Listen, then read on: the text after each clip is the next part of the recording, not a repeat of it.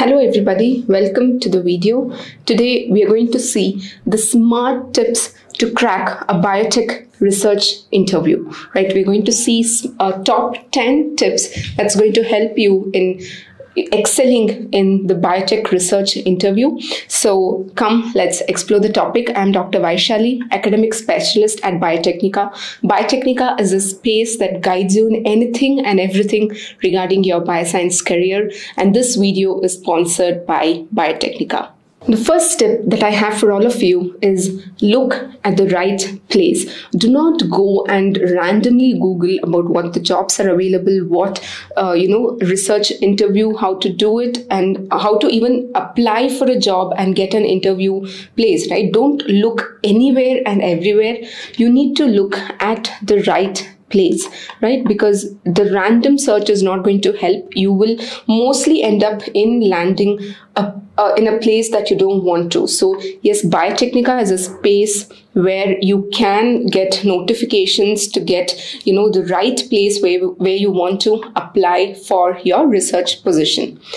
The second tip that I have for you is the presentation. That is during your interview, how are you going to present yourself? So that is also very critical because you it helps you in feeling confident, right? If the, the way you dress, the way you present yourself, that is going to give you confidence about yourself, right? And then you can excel in the interview as well. So it's important to not underdress and not overdress as well. So whichever you're comfortable with, go ahead with that particular dressing and make sure that you rehearse your presentation before you go to the interview. Now, after presentation, the third tip that I have for all of you is know your domain, right? Your technical domain, whatever domain that you've been working on, you should know your domain, especially the foundational material, because the questions, especially for a research interview, it's going to be from the very basics. So make sure that you know what the foundational material is and what you will be interviewed upon is whether you have a good grasp of the key concepts, right? So make sure that you know your stuff well, the basics well before you go to the interview. If not, please go and prepare yourself, brush up all the basics, whatever you studied in your UG and PG. Make sure that you go there well prepared. Right? The fourth tip that I have for you is during the interview, what are you supposed to do? You're supposed to demonstrate problem solving skills, right? Because especially in the research interview you can uh, you know solve problems because in research or uh, say for example if you're going for a phd position or you're going for a jrf position then you in your research career you will uh, encounter a lot of problems and you need to have that problem solving skill within yourself right? You need to stay calm whenever you are encountering a problem whenever you're encon- encountering a research question and how to you know uh, very uh, decisively uh, decide on what kind of solution are you going to take in right? So it's important for you to take deductions and educated guesses. So whenever there is questions being asked by the interviewer if you're able to deduce and you know guess the answer even though you don't know the answer but you're able to take an educated guess at the answer then it demonstrates it it lets the interviewer know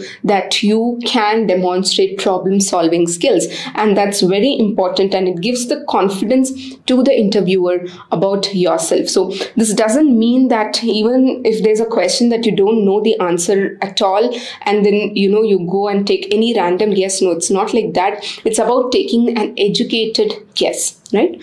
So that's how you demonstrate your problem solving skills the fifth point that I have for all of you is to communicate effectively. Now, why is this important? Because an interviewer, whenever they are questioning you, they, uh, you know, look for skills that are necessary for research, right? And communicating well is one such skill that's important as a researcher.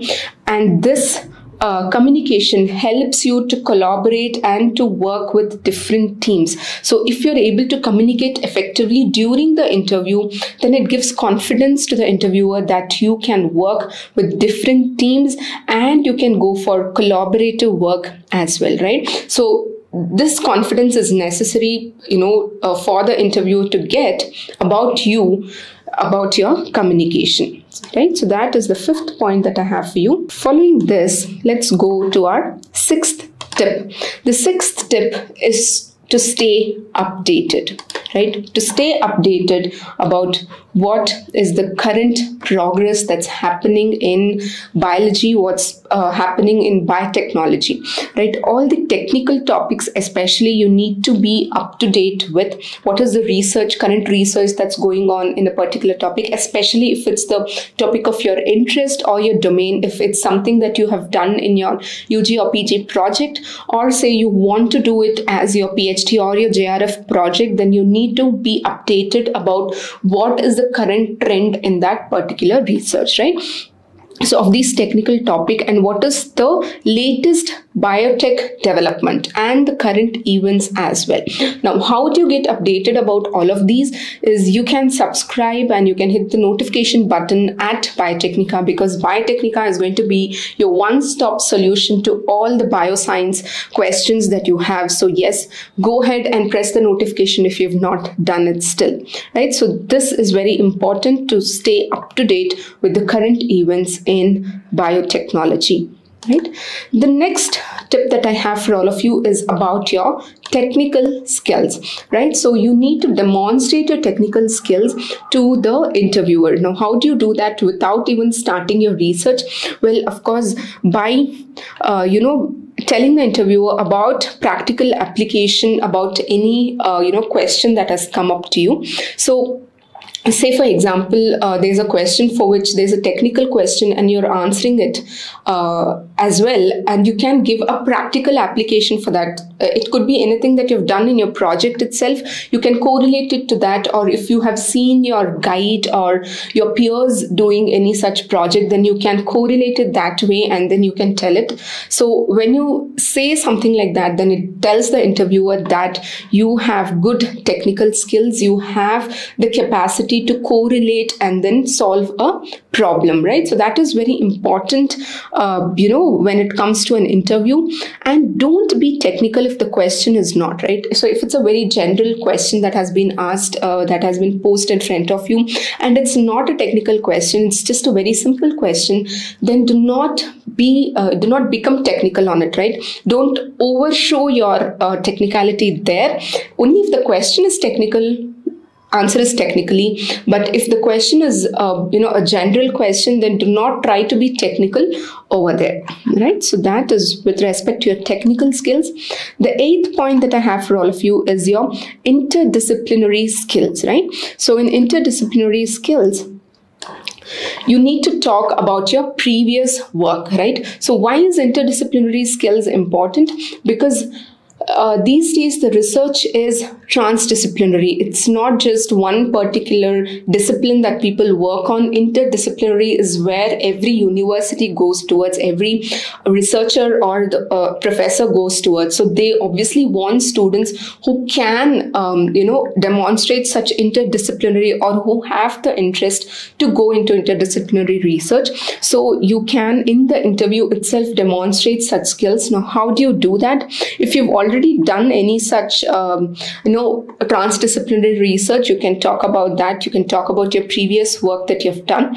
And this tells the interviewer that you're flexible and your ability to do teamwork with others and to collaborate with others and go for an interdisciplinary research right so it gives the interviewer that particular confidence and it's very important for you to get selected in the research interview the ninth tip that I have for you is remain positive, right? So, however the interview is going, whether it's good or it's bad, remain positive throughout the interview because how do you remain positive? Have a smile in your face, whether you're it, whether even if it's going bad, even if the interview is going bad, you need to feel confidence about yourself because this is not the first or the last interview in your life, right? So this is one of the interviews. So do not fret.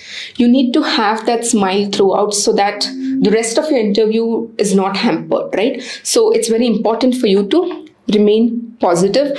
And it's okay if you don't know the answer. So if you don't know the answer for any of the question that they ask it's okay. You can accept that you do not know the answer. They it's, it's not necessary that you need to know every answer that the interviewer is asked right? So it's okay to accept that you do not know the answer right? And do not get uh, overwhelmed with the questions that's being asked and you don't know the answer for those questions. No, it's okay. It's all right. Keep a smile in your face all the time.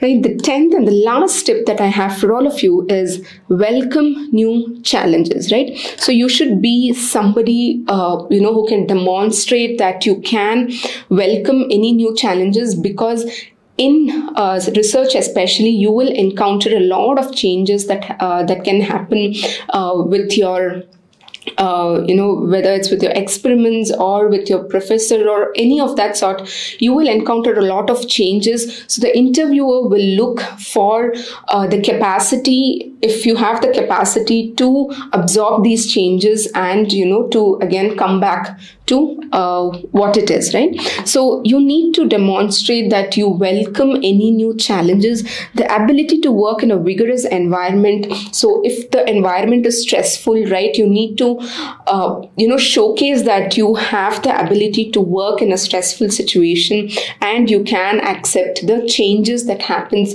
in these environment, right? So you need to, you know, very well uh, communicate it to the uh, to the interviewer that you you are ready to take up any new challenges right? So this will show about the positive attitude that you have and it's very important for you it's very important uh, in an interview to show such positive attitude.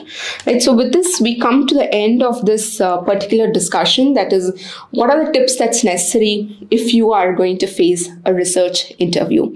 Thank you so much and see you all until next video